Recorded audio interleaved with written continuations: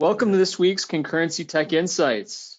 This week we're talking about cloud assessment and migration. I am Nathan Lasnoski, Concurrency's Chief Technology Officer. We have some great guests lined up this week. We're so glad that you're here with us. Let's introduce them.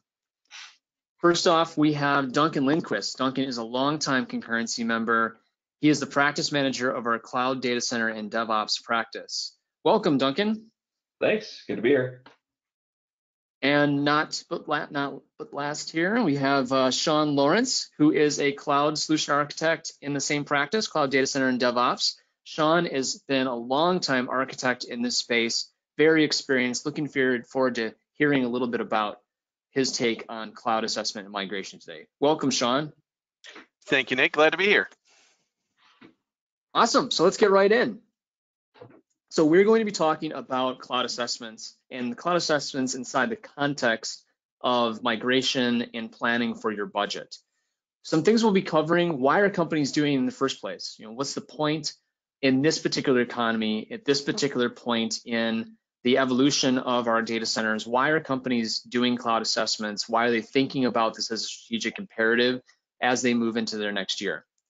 Also, how are they comparing? You know, when people or companies are doing a cloud assessment right now, why not only are they doing them, but what are the results that they're receiving from those cloud assessments? How are they comparing against the cloud environment and the on-premise environment? Even what metrics are they using to compare?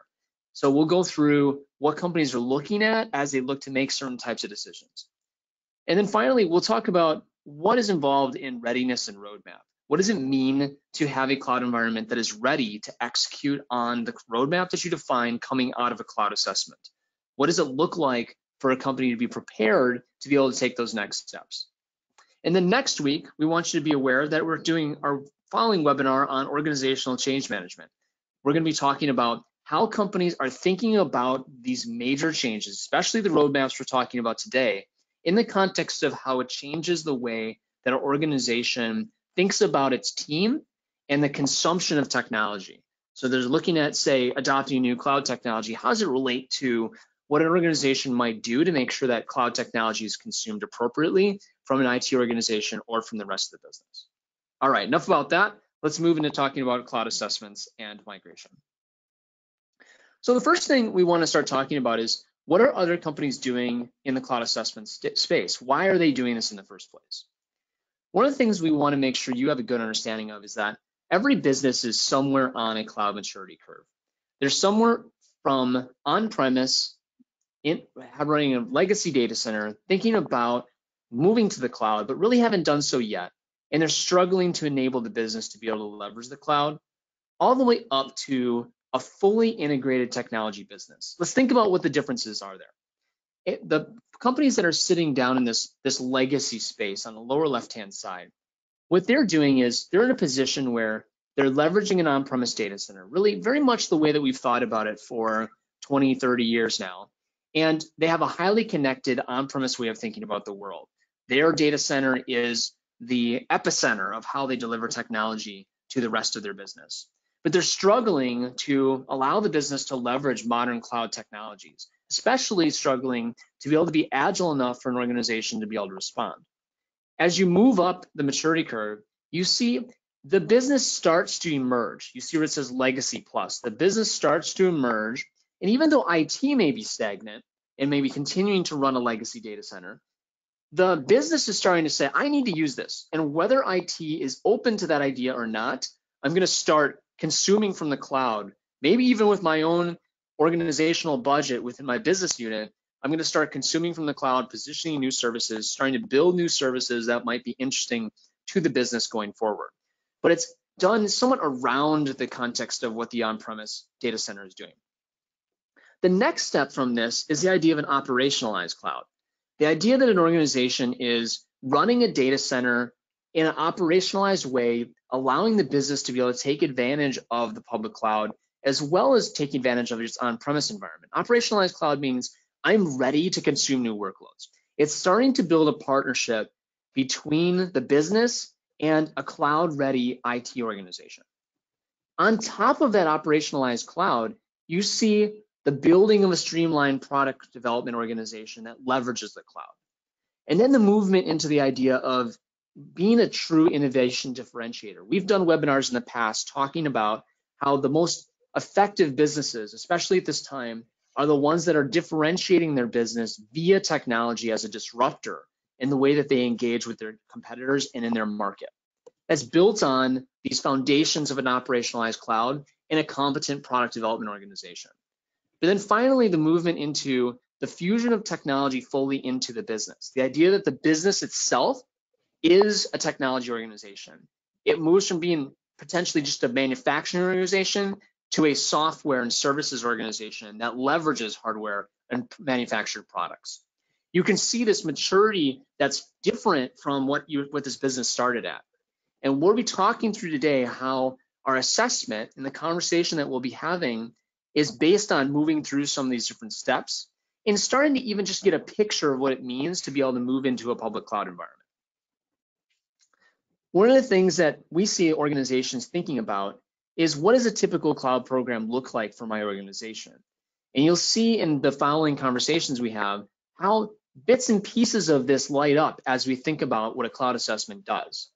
Oftentimes, people have are somewhere down the road in the cloud, like we talked about in the previous slide, where they've started parts of the business, pockets of the business have lit up aspects of the cloud, and IT in a sense is catching up.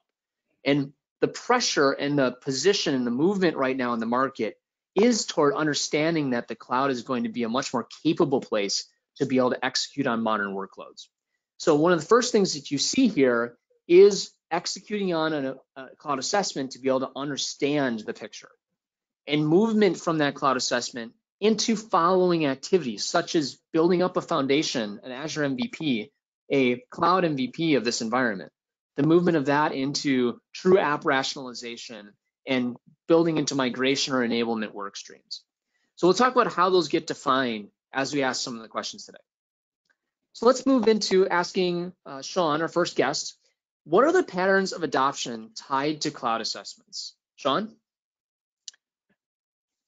So yeah, there's a variety of you know ways that people go about adopting the cloud. Um, one of the primary means that we you know we try to focus on with the the assessments is to really start talking about what are some of the foundational elements of the cloud, and we'll be talking a little bit about the cloud adoption framework in a, in a little while. But uh, basically, you know, really starting to establish you know a good governance and topology foundation is key to really being able to drive an extensible, reliable, and well-disciplined, you know, uh, footprint in the cloud.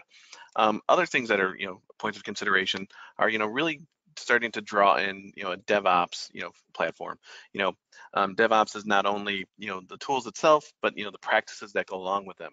So, but as you're moving to, you know, towards Azure and the cloud in general, you want to have a better approach to how you're going to be deploying things. You know, you want to be able to establish, you know, your topology leveraging things like infrastructure as code. Uh, we use Terraform a lot within with our clients. Uh, so, but that allows you to sit down an overall, you know, landing zone that again we'll be talking about in a bit. But being able to go through this sort of process of, you know, enabling the business, enabling technology, you know, being able to drive business input um, allows us to start, you know, leveraging that underlying foundation to really establish an analysis platform and an app factory model that allows for migrations and modernization to occur so that once we start going through that process, um, we're able to really establish, you know, what are the design patterns, what are the practices, how do we really drive innovation and excellence throughout the process, and how do we really enable technology in the business to really come together and fuse. Um, so, and from there, once you you know continue that journey through the cloud, you're able to leverage the capabilities of Azure and really start driving things like data modernization, so that you know you can start allowing the business to really drive derive better um, insights and um, you know processes going forward, so that they're able to continue to evolve what they're doing, you know, and become truly business aligned with you know technology and the business that Nate was referring to earlier.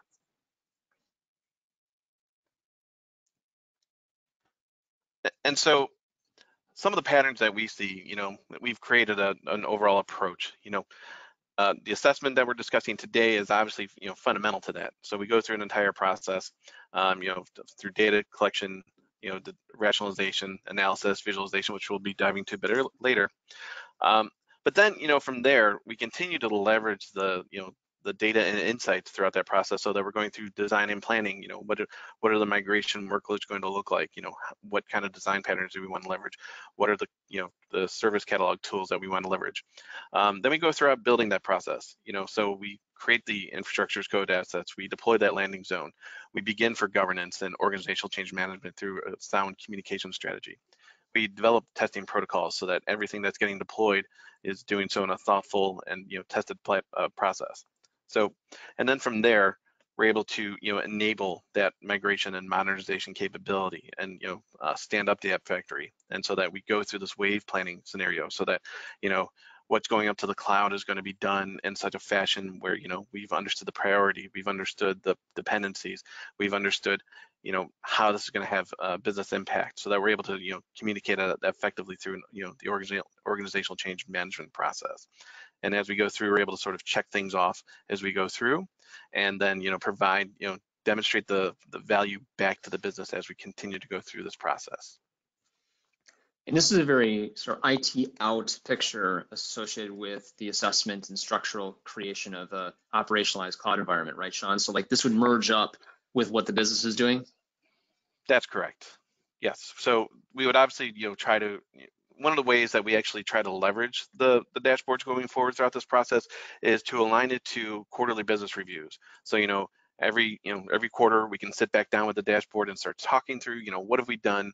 What have we achieved? Where do we need to go? You know what has changed? You know what have we learned through this process? So that we're you know again continuing to align to those business cadences aligning to those business needs and you know really being able to enable the business to you know act in the way that it needs to awesome so duncan let's talk a little bit about the assessment specifically that companies go through what do companies usually learn from the assessment planning exercises? That's a great question. So we have a, a good output that comes in the form of a Power BI dashboard that's going to break it down in all the different ways they might want to see it.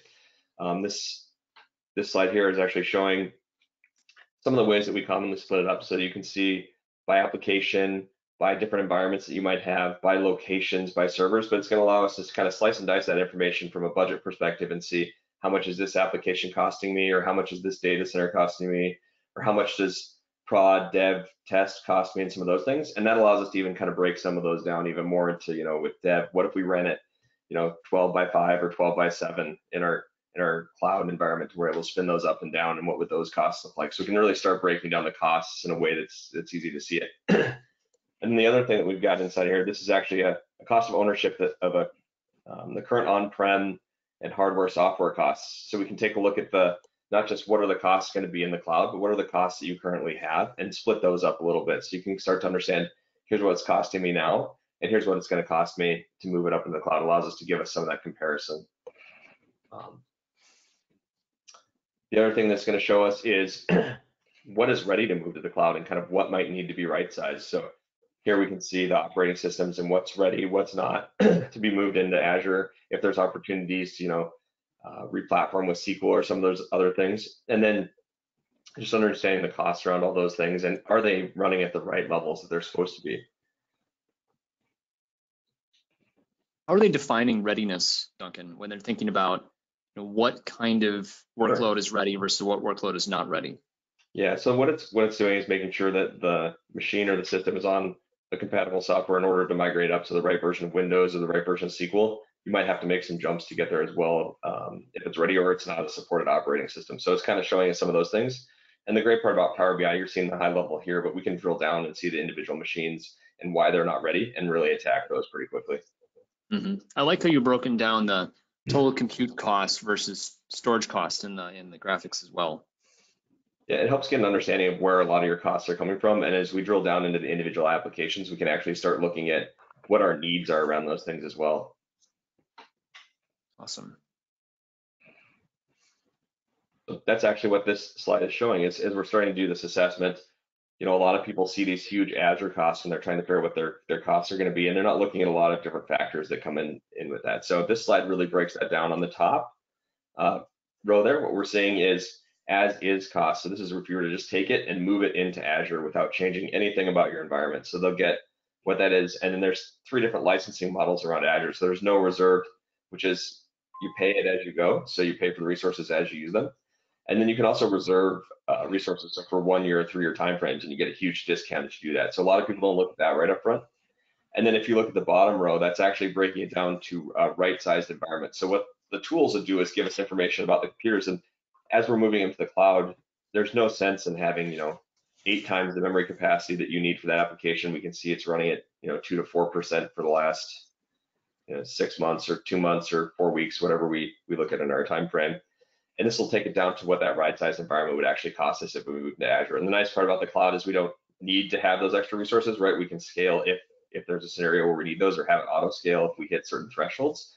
But this actually gives us a cost price where this is what it's actually going to cost us to move to Azure. And then again, across those different licensing models. So you, you can kind of see just from this one slide, you know, this isn't taking into account yet replatform or refactor, but just this one slide will show you that there's a huge variance in costs about, by the way you're planning and going into the cloud. So planning and, and getting the right plan of going into the cloud is going to change your price. In this case, for this client was almost $160,000. We've seen a lot larger, some smaller ones, but there can be a significant price difference there.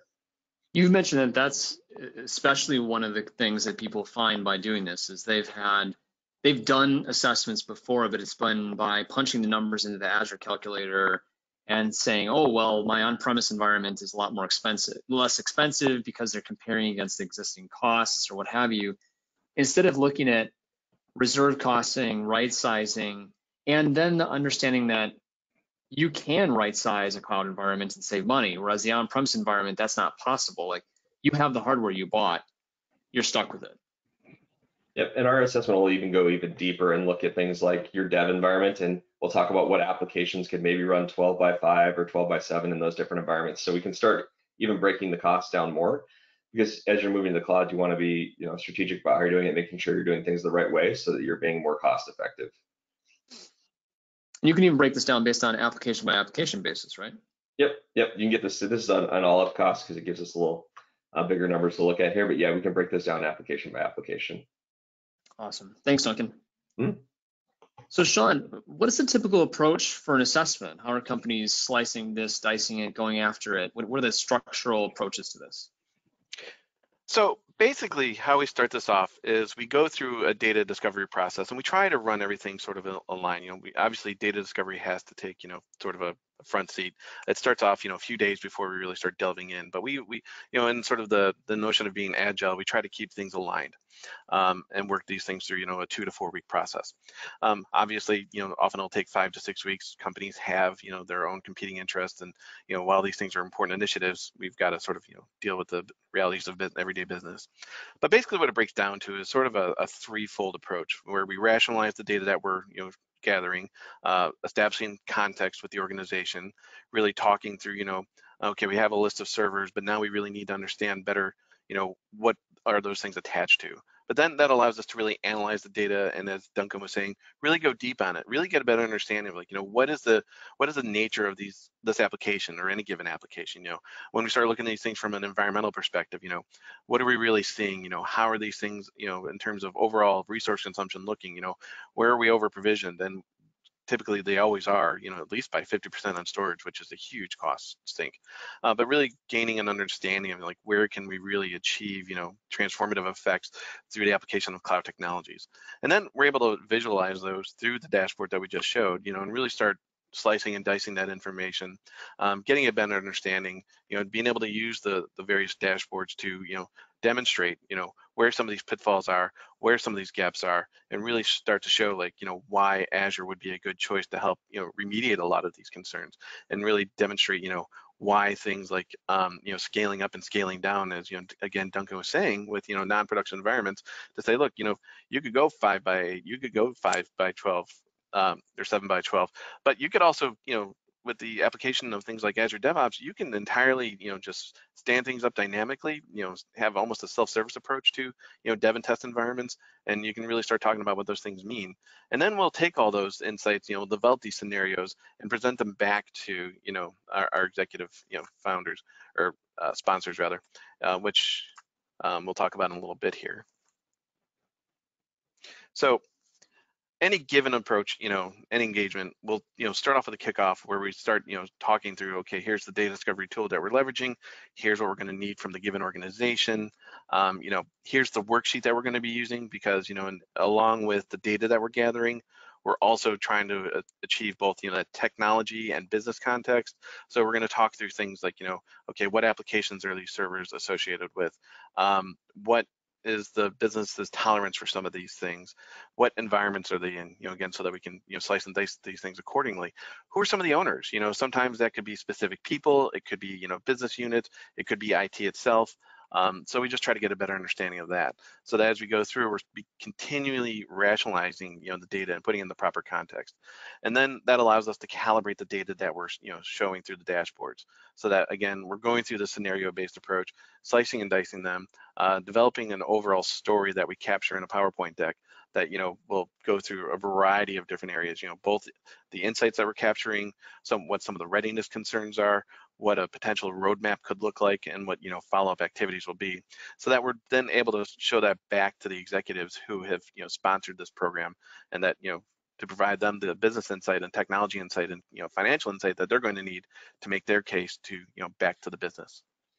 Exactly. And a comprehensive approach helps to clear up some of the perhaps misconceptions that existed in the business in terms of what they thought the cost of the cloud was or how even quickly you can move to the cloud.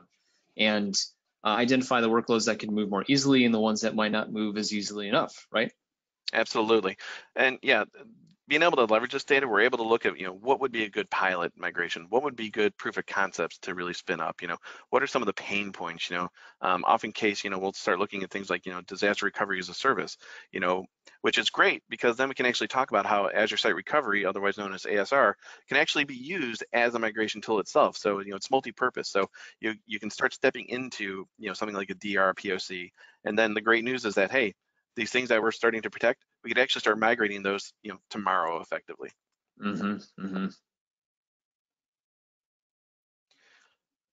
So to break this down, you know, between the, the, the rational, rationalize, analyze, and visualize. So basically, you know, again, we take that worksheet, we really start carving these things up into applications, understanding the various functions. So, you know, there may be types of applications. So that's very useful, you know, if we're gonna start looking at SQL or, you know, any data you know based system or you know what is being used as a web system. So we can actually start breaking those things out in terms of more of an, an overall cloud operating model. But then we're able to you know derive those targets you know again like you know do we want to refactor this? Do we want to rehost this? You know leveraging the the five R's from Gartner. Um, and then from there deriving you know these various different insights we can start you know taking a first crack at wave planning you know like what are some of the first things we're going to want to move? What will be some of those pilot you know um, migrations or modernization efforts.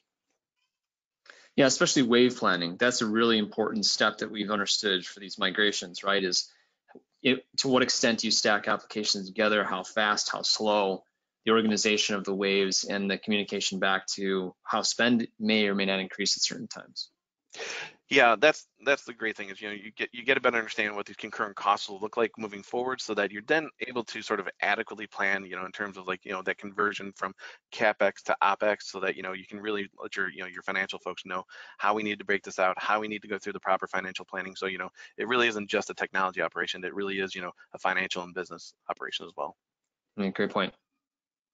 How about analyzing so again, you know, as we were saying earlier, you know, then we're able to really say, like, look, we're, we're looking at these things as an aggregate. We're noticing that, you know, you're you're 50% over provisioned on storage, you know, you're 30% over provisioned on cores, you know, you're 40% over provisioned on RAM, and we can really start helping them drive some, you know, decision-making processes and enabling, you know, the people in in these um, assessments to really go back to their application owners or their business stakeholders and really have some artful conversations. You know, like, hey guys, look, I know that you know over the years we've been you know throwing all these uh, you know, resources at this application, but here's what it really needs, and they can start talking about you know the the peaks and cadences of you know like what does their annual look like. You know, it's like, look, we provisioned this particular application because we know that there's three points in the year where it really spikes, but we could really you know make this more suitable to what you really need and help you know drive down costs and then you know start talking to their you know their application owners and business stakeholders about you know okay here's what readiness looks like you know in terms of this particular application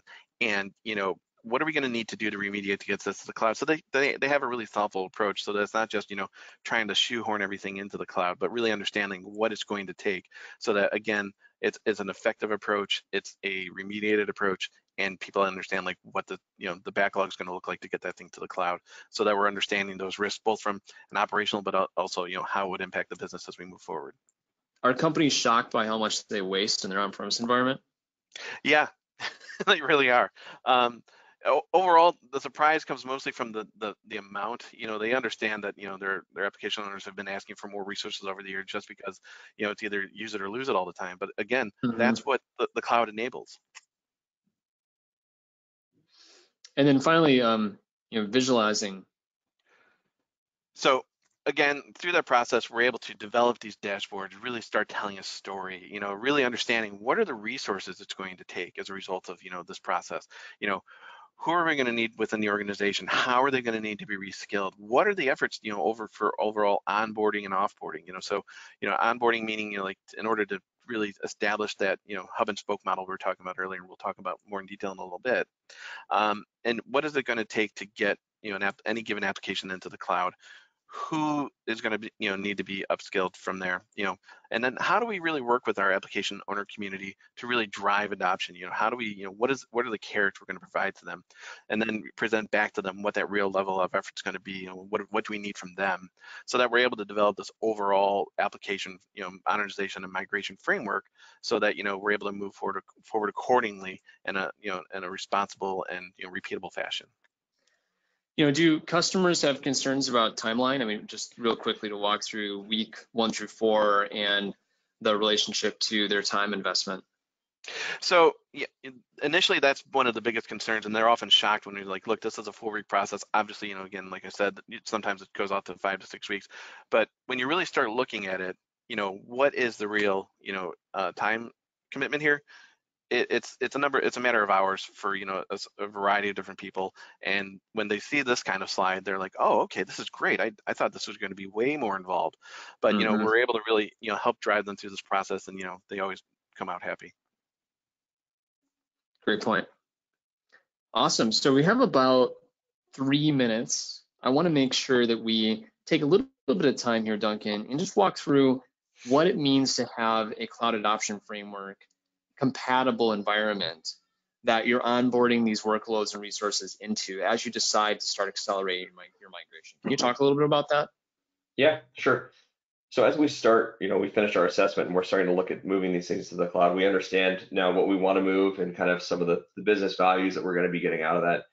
It's really making sure that upfront we're doing things the right way as we move to the cloud. We talked about infrastructure as code, there's governance, um, a lot of different pieces we're going to need to take into account. And we want to make sure we have that all set up before we just start moving pieces to the cloud. So you see kind of this is the cloud adoption framework from the, the Microsoft perspective here, right? They're defining their strategy, they're planning, getting ready, and then they're migrating.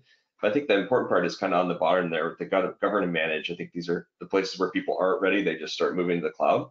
So really getting your governance in place and you know what does that mean? It's what do my management groups look like? What do my subscriptions look like? How do I contain things in resource groups? And you know, what are my tagging structures? So, um, you know, I need stuff for my cost management. I need to understand my data classifications. You know, we can control role-based access through there. Um, what do those things look like? And then what are my DevOps processes as we go through that too, right? So how am I deploying this infrastructure as code and, and what does that look like? How do I get process in there to make sure that the security and governance is in place right from the start? So we talk about linting and policies and some of those things. So really getting that, that landing zone, as you would call it, ready for how you deploy applications. And then at that point, we build out a plan, you know, of how you're either going to take an existing application, kind of a brownfield, and move that into Azure. So what does that plan look like? So you can onboard application teams one at a time and start getting them used to using Azure and, and moving their application to Azure. Maybe even looking at refactory platform.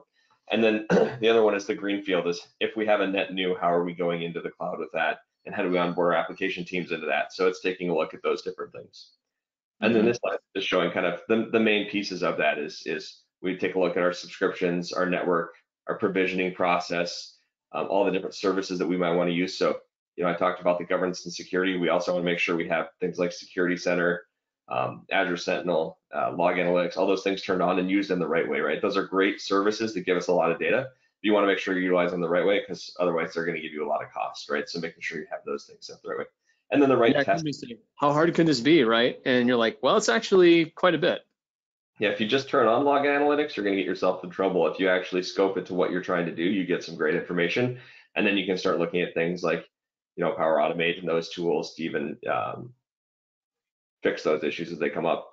And then, you know, test, testing and testing and testing are all, all big things as we go through our deployment models.